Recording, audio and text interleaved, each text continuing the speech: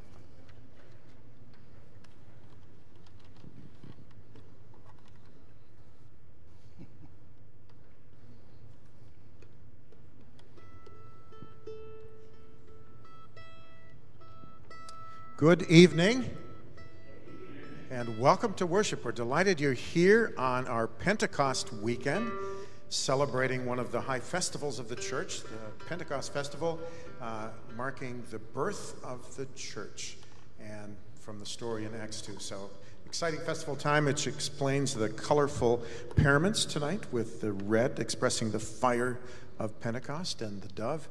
So, delighted to have you here, uh, whether you are here in person or here with us virtually. Uh, also, we're excited today. We get to introduce our new summer intern. Uh, new to you as a summer intern, but he's been around here for as long as we can, as I can remember. Zach Osmondson, student at Gustavus Adolphus College, is going to be a summer intern in our youth faith formation department, and we're thrilled to have Zach with us. And he's going to do the Bible story today. He wrote the prayers today, and probably three quarters of Pastor Brenda's sermon. So um, he's been very, very busy already as, as our summer intern. Delighted to have him here. Two weeks from tomorrow is our baccalaureate service for graduating high school seniors. It's incorporated as part of our 1030 service out in the parking lot. Uh, if there's rain, we will bring it indoors. Uh, but uh, if you have a graduating senior uh, who hasn't contacted us yet, uh, please contact Ketty Spihar or a member of our uh, Youth Faith Formation staff. And we've got one week left for you if you're going to support our LSS Lutheran Social Service Homeless Youth Project. Uh, the three houses, Safe House, Life Haven, and Resik, are all uh, safe houses, shelters for uh, youth who've been on the streets or who find themselves homeless. Um, we do a shower every year in May where we uh, have congregation members buy supplies that these individuals will then receive and be able to keep when they move out uh, to independent living. So uh, go online, Mount Calvary Outreach. You can order from Amazon which I assume you've all been doing for the last 15 months uh, and have some experience. So order on Amazon, and then Amazon sends it here, and we will deliver to those uh, three uh, homeless shelters. So thank you for those who've responded thus far, and uh, if you intend to do that, you've got about a week left because we'll wrap that up at the end of May. Also, um, if you have some clean sheets, new sheets, lightly used sheets, our quilters are asking for donations. Um, they purchase a lot of their own materials through donations. They, um, in fact, just delivered 57 uh, quilts to uh, Simpson House, homeless shelter. And the board member was so impressed with the quality that uh, one of the board members donated $1,000 for them to buy batting for these quilts. And that lasts about four months for them. And uh, these sheets are another part that, you know, supplies that they need. To date, 10,371 quilts have been made and donated. Now, if you put, yeah, go ahead. Diane Strandberg. Diane is our applause plant. She is here to stir applause whenever necessary. Uh, but if you put 10,371 quilts end to end, they would stretch from Mount Calvary to Abbott Northwestern Hospital. Which, to give you some idea, and all of these have been donated to various shelters or veterans groups. Um, another 14 were given to Martha Brannon at his house for distribution. So your support of those women is just crucial. And they're now back meeting after a hiatus during the pandemic, so uh, they're pretty excited to be cranking out those quilts. So sheets are needed. And uh, finally, we get to welcome Ella Williamson, who's going to be baptized today. So at the appropriate time, we invite you to join in that baptism uh, with the responses that you'll find either in your bulletin or on the screen. So um, let's get to worship. We gather to worship in the name of the Father, and of the Son, and of the Holy Spirit. Amen. Tongues of fire and the rush of violent wind. Pentecost sends us out into the streets to engage the other. Filled with the Holy Spirit, Pentecost is a life changing encounter with the children of God. Hearing God's voice in each of our own languages, Pentecost speaks to God's passion for the particularities of human expression. As a day of divine embrace, Pentecost is God's insistence that I and the other are one. and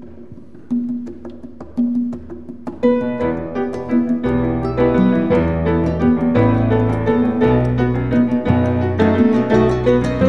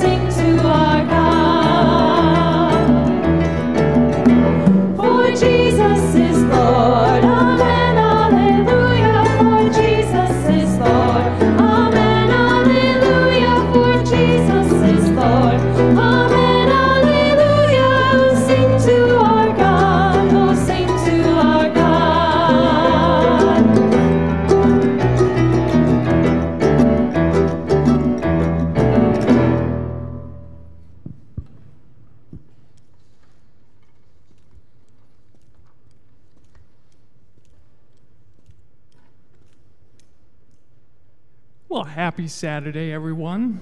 Is this a thumbs up? I'm going to do the Andrea thumbs up, thumbs down, thumbs to the side. Adults, too. Up? Awesome. That's what I love to see. So, as some of you may know, this is the first weekend in Pentecost, and today we're going to be uh, also celebrating uh, in our Bible story today uh, the return of the Holy Spirit to uh, Jesus' disciples.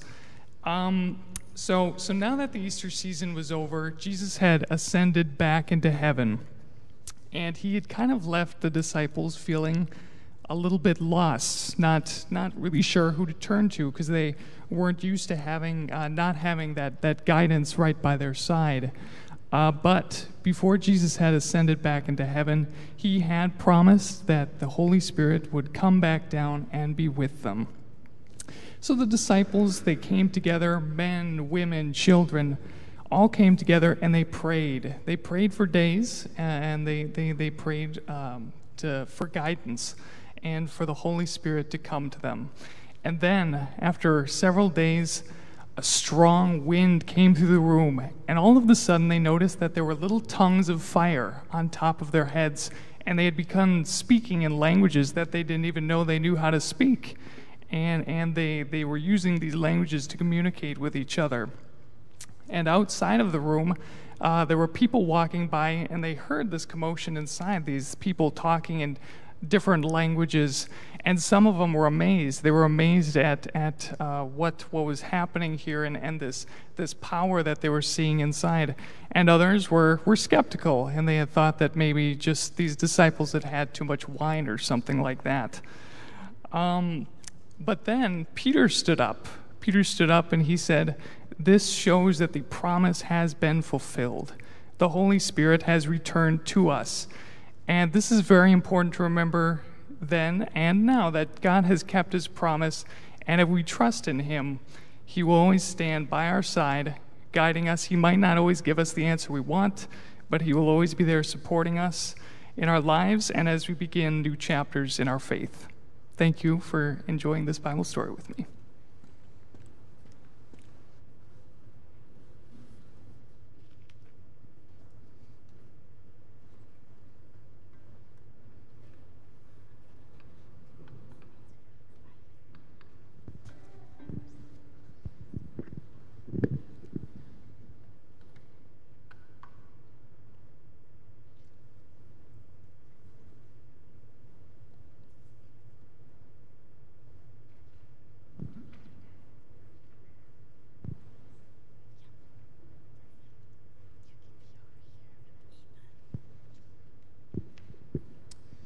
In holy baptism, our gracious Heavenly Father liberates us from sin and death by joining us to the death and resurrection of our Lord Jesus Christ.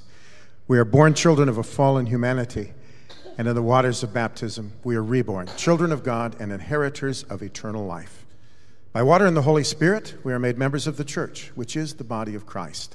And as we live with Him and with His people, we grow in faith, love, and obedience to the will of God.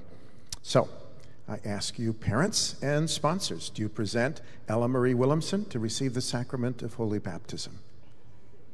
Ella? In Christian love, you presented Ella for holy baptism, and as she grows in years, you should faithfully bring her to the services of God's house. Model for her the Christian life. You also should place in her hands the Holy Scriptures and provide for her instruction in the Christian faith that living in the covenant of her baptism and in communion the, with the church, she may lead a godly life until the day of Jesus Christ. You promise, as parents and sponsors, to fulfill these obligations. Invite the congregation now to join the family in confessing the faith in which we baptize using the words of the Apostles' Creed. I believe in God the Father Almighty, creator of heaven and earth. I believe in Jesus Christ, God's only Son, our Lord who was conceived by the Holy Spirit, born of the Virgin Mary, suffered under Pontius Pilate, was crucified, died, and was buried. He descended to the dead. On the third day he rose again. He ascended into heaven. He is seated at the right hand of the Father. He will come to judge the living and the dead. I believe in the Holy Spirit, the Holy Catholic Church, the communion of saints, the forgiveness of sins, the resurrection of the body and the life everlasting. Amen.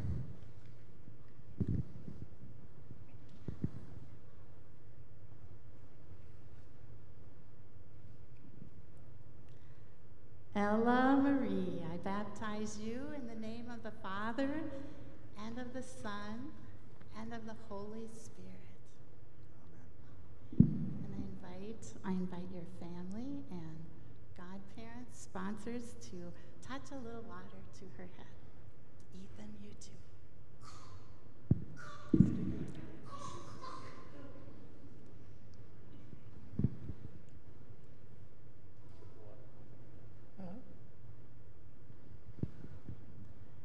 Ella Marie, you've been sealed with the Holy Spirit and marked with the cross of Christ forever. Amen. Let's welcome this new sister.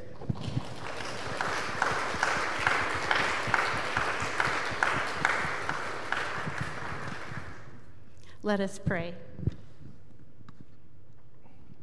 O God, giver of all life, pour your Holy Spirit upon Ella. Look with kindness upon Erica and Drew. Let them ever rejoice in the gift you've given them. Make them teachers and examples of righteousness for their children. Strengthen them and us in our own baptisms so we may share eternally with each other the salvation you have given us through Jesus Christ. Amen. Through baptism, God has made this new sister a member of the priesthood that we all share in Christ Jesus, and that we may proclaim the praise of God and his redeeming world. So please join me in the welcome. We welcome you into the Lord's family. We receive you as a fellow member of the body of Christ, child of the same Heavenly Father, and worker with us in the kingdom of God.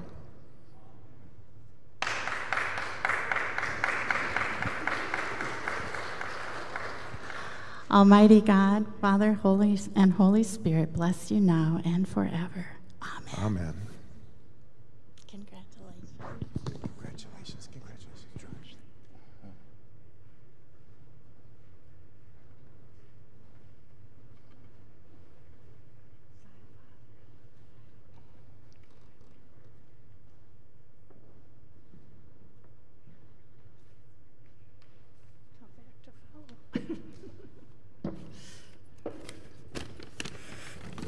First lesson comes from Acts 2, verses 1 through 12.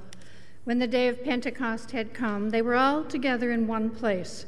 And suddenly from heaven there came a sound like the rush of a violent, violent wind, and it filled the entire house where they were sitting.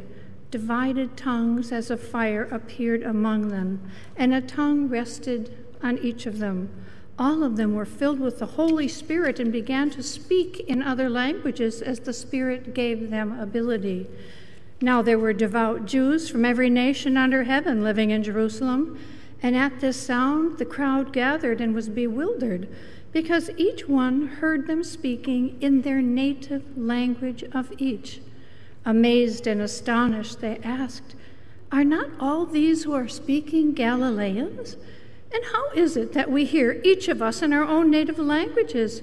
Parthians, Medes, Elamites, residents of Mesopotamia, Judea, and Cappadocia, Pontus and Asia, Phrygia and Pamphylia, Egypt and the parts of Libya belonging to Cyrene, and visitors from Rome, both Jews and proselytes, Cretans and Arabs. In our own languages, we hear them speaking about God's deeds of power. All were amazed and perplexed, saying to one another, What does this mean?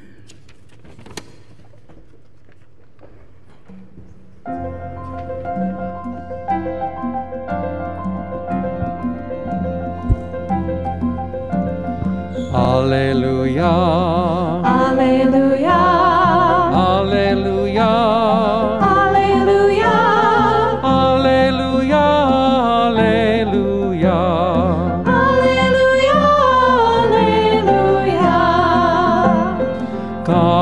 Send you the Spirit to be with you forever.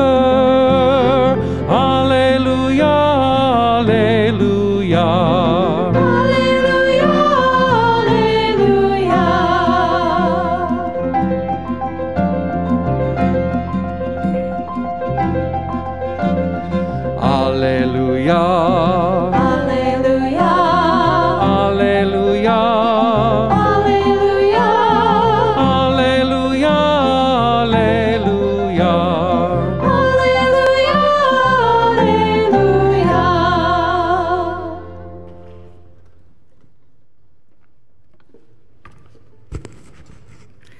Holy Gospel according to John. If you love me, you will keep my commandments. And I will ask the Father, and he will give you another advocate to be with you forever. This is the Spirit of truth, whom the world cannot receive, because it neither sees him or knows him. You know him because he abides with you, and he will be in you. I will not leave you orphaned. I am coming to you. In a little while, the world will no longer see me, but you will see me. Because I live, you also will live. On that day, you will know that I am in the Father, and you in me, and I in you. They who have my commandments and keep them are those who love me. And those who love me will be loved by my Father, and I will love them and reveal myself to them. I have said these things to you while I'm still with you. But the advocate, the Holy Spirit, whom the Father will send in my name, will teach you everything and remind you of all I have said to you. The gospel of the Lord. Praise to you. You may be seated.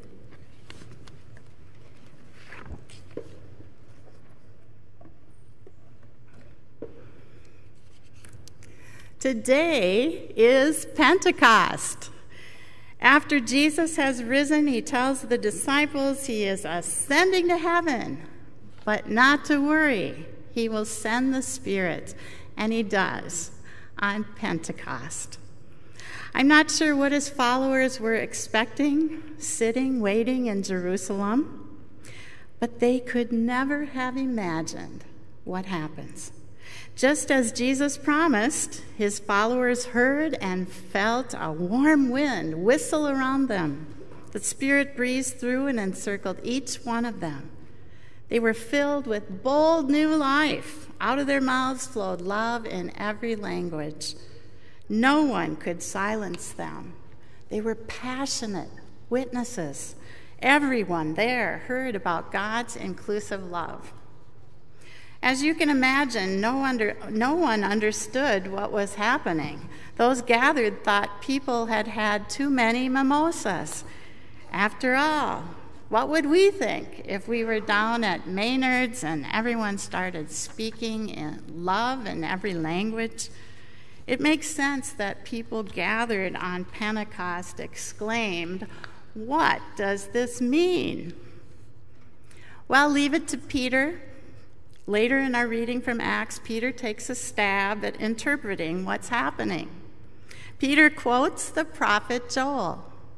Joel had prophesied that the Spirit would not only rest on prophets and kings, but in this new day, God would bestow the Spirit upon all flesh, all flesh, regardless of gender, age, or social status. God told the prophet Joel, Your sons and your daughters will prophesy. Your youth shall see visions. Your elders shall dream dreams. Even upon the lowly I will pour out my spirit. Peter and those gathered on Pentecost witnessed the Holy Spirit not only validated, validating difference, but blessing difference. Everyone was included. Every language was spoken. Every heart warmed with the Spirit. Incredible how the Spirit embraced each one personally. Jesus knew his disciples would have questions about Pentecost.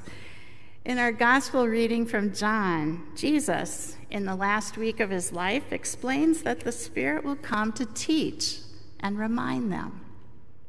It will be a gradual learning as they experience life. The Spirit will teach them what they need to know as they go along.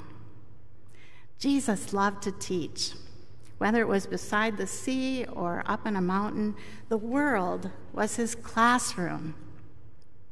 But there was resistance to his new perspectives. People were bound by what they already knew. Jesus once told religious leaders, You have a fine way of rejecting God's commandments in order to keep your traditions. Jesus shocked people by saying those thought to be cursed were actually blessed. He upset his hometown, declaring that things have to change for the poor and the oppressed. Jesus forgave sins. Did he think he was God? He even broke the law, healing people on the Sabbath. Can you imagine? For the first time, tax collectors, sinners, poor widows, little children, immigrants, and strangers, and a whole host of people considered unworthy outsiders heard they belonged to God's family. Jesus not only validate, validated difference, he blessed it. We live in a culture that tells us there's nothing new under the sun. That mantra can keep us a bit closed minded, glued to what we are so sure we already know. The phrase old habits die hard comes to mind. My husband grew up in southern Minnesota. His hometown is surrounded by farmland as far as you can see. It's a tradition for people to give directions to their homes by saying, Look for the little pink schoolhouse and turn right or look for the little pink schoolhouse and turn left. Well, one day the owner of the pink schoolhouse decided to paint it white. That was a problem. No one could find anything. Thank goodness the schoolhouse has been repainted pink. You've heard you can't teach an old dog new tricks. That phrase dates back to 1546 and is considered one of the oldest idioms in the Old English language. Maybe whoever came up with that phrase needed an excuse. We can learn a new thing or two, no matter how old or young we are. Think about your own life and what your life has taught you, or perhaps the Spirit has taught you over the years? Are there things you know now because of experience? Perhaps the Spirit was guiding you. There is a valuable curiosity we cultivate in being open to God's teachings. God has a talent for innovative, inventive moves. And God takes great joy in surprising us. It turns out that being open to learning is a key to discipleship. How we respond to the Spirit's teaching and reminding becomes our witness. Pastor Dave talked about witnessing in his sermon last weekend. To be a witness, you simply share what you've seen and what you've heard, what you've experienced. You don't need to be an expert and you don't have to have all the answers. In fact, we might be more pleasant to be with if we assume there's a thing or two we can learn. Maybe an important attribute of Jesus' followers is the ability to ask, What does this mean? What is going on, God? We don't know everything there is to know, especially about God and about the Spirit. Maybe we would have more credibility with atheists and agnostics if we acknowledged there's a lot of mystery in our life of faith and that we don't know what we don't know. The followers of Jesus who often asked him, What does this mean? do not get a voice from heaven that tells them the answer. They learn as they go, as the Spirit teaches and reminds them. Jesus promised that his Spirit would abide in community. He also promised that the Spirit would reside with each one of them. If you ever wondered if God cares about you personally, remember the story of Pentecost. The Spirit rested on each one of them no matter who they were. The gift of the Spirit was bestowed on all, regardless of their language, ethnicity, race, creed, gender, or sexual orientation. That very Spirit personally teaches and reminds us of God's love for us, so we can boldly go to God with anything on our hearts, whatever our circumstance. We can ask, What does this mean, Lord? What do I do now? How do I make sense of my life? There's a book called Let Your Life Speak. It's an invitation to reflect on God's activity in your past to find clues about your future direction. We can always learn by reflecting, but just as important is our present. What if you were to imagine your own personal Pentecost? Might there be a warm wind encircling you? What if you were open to a new teaching from God? Imagine God devising a new beginning, dreaming up a newfangled adventure that's safe because God has your back. Our God of multiplicity and complexity offers multiple Pentecosts. They come as God moves the church beyond our doors out into a world of need. They come as we share our God experiences in community Pentecost come as a response of God's desire to be intimately and personally engaged with us. The Spirit arrives in worship and in baptism, at confirmation, at our hospital bed, in our times of decision and indecision, in our caring for others. When we say, Come, Holy Spirit, it doesn't mean the Spirit isn't already in you or alongside you. The Spirit is there all the time. But when we say, Come, Holy Spirit, we are giving the Spirit our attention. We are giving the Spirit our attention. It's an awareness that we can call on the Spirit, dream with the Spirit, receive comfort and strength and help from the Spirit. Come, Holy Spirit, good words to remind ourselves the Spirit is present. We might also say something like, Spirit, open us to your abiding, to your presence with us. Pentecost is not just a long ago happening or a one time event, it happens more often than we can imagine. More importantly, it happens and takes place in you and in me. Our very own personal Pentecosts are those times we experience a refreshment of the heart. It's the intimate stirring of our souls, an opening to learning and to love as Christ loves, love that shows itself in grace and inclusivity and service. Sometimes Pentecosts happen when we are least aware. We might we might only recognize them in retrospect. Whether we're aware of it or not, the Spirit is always at work, teaching and reminding.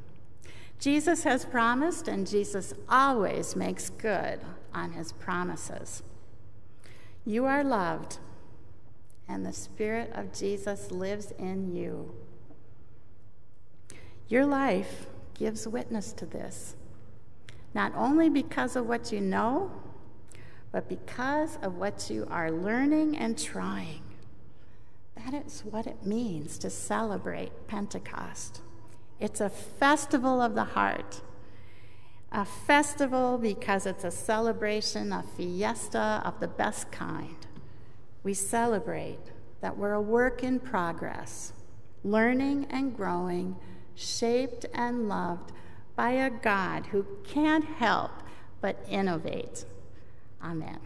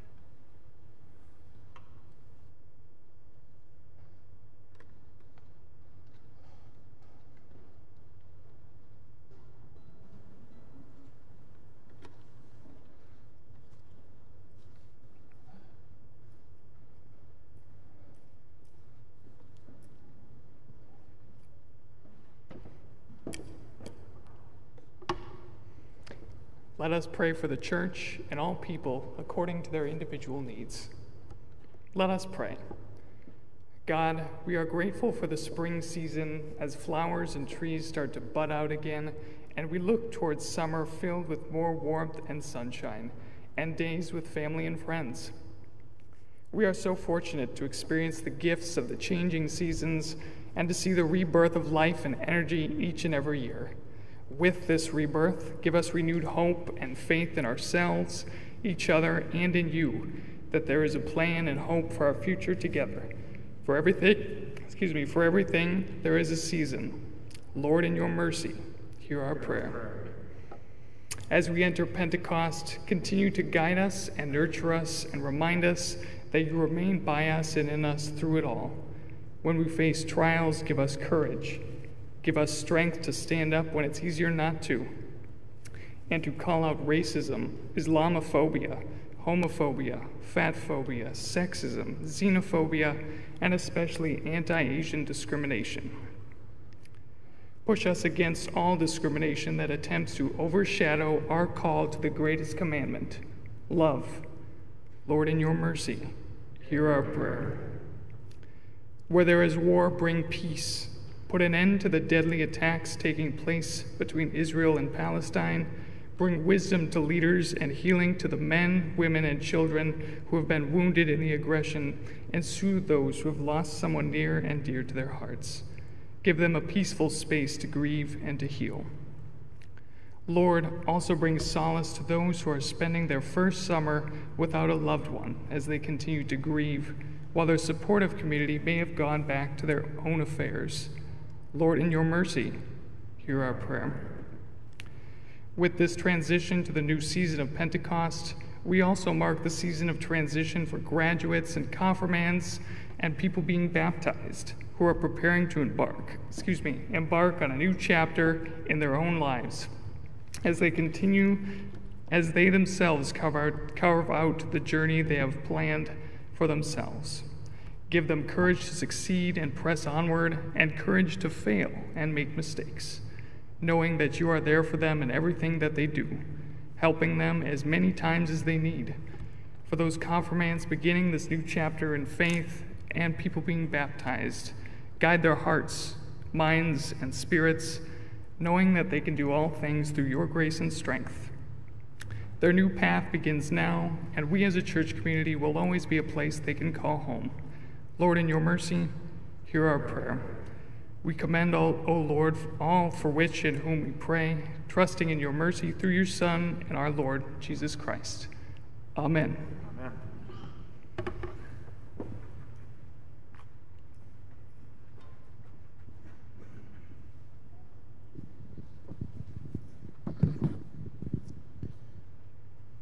Thank you, Zach. We continue our tradition started uh, about the beginning of the pandemic of having members of the congregation write the prayers of the people. So we're very grateful to Zach and the others who have offered to do that on our behalf. And if you're interested, let us know, and we'll put you in touch with Jill Cowan.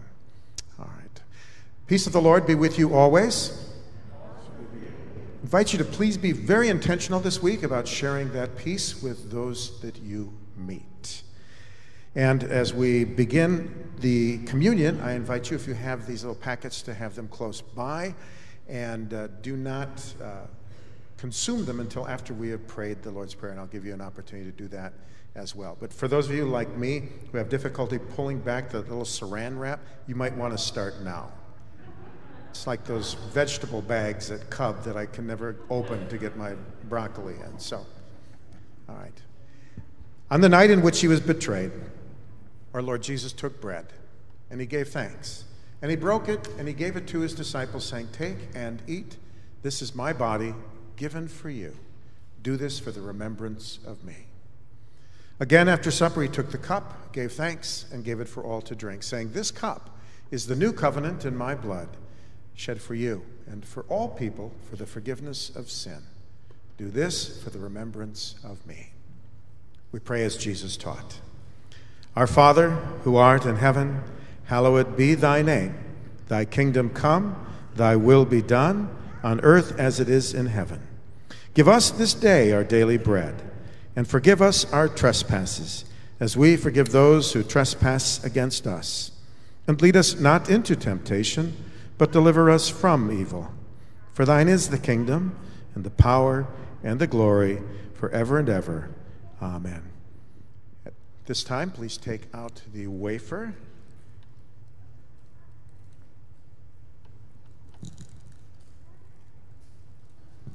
And uncover your wine. The body of Christ given for you.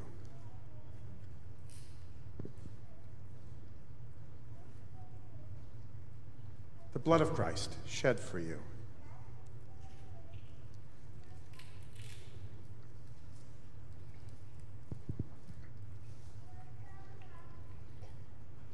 May the body and blood of our Lord Jesus Christ strengthen and keep us all in his grace. Amen. Please receive the benediction. And please stand to receive the benediction and join in the sending song. May the love of God enfold us, the wisdom of Christ enlighten us, and the fire of the Spirit kindle us. And may the blessing of the Lord come down upon us and remain with us always. Amen.